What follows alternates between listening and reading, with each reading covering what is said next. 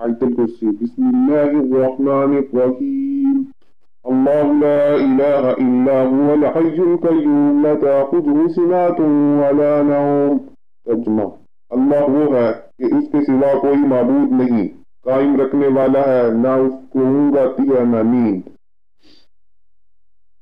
له ما في السماوات وما في الأرض وما ذا الذي يشفع عنده إلا بإذنه ما بين أيديهم وما خلفهم ولا يهيدون بشيء من علمه إلا بما شاء وسع كرسيه السماوات والأرض۔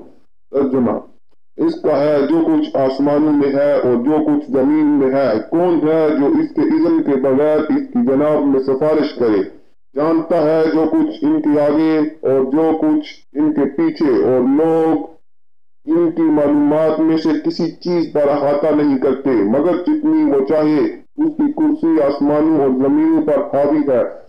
ولا يقوده حفظهما وهو العلي العظيم۔ اور ان کی حفاظت اس کو تکاتی نہیں یعنی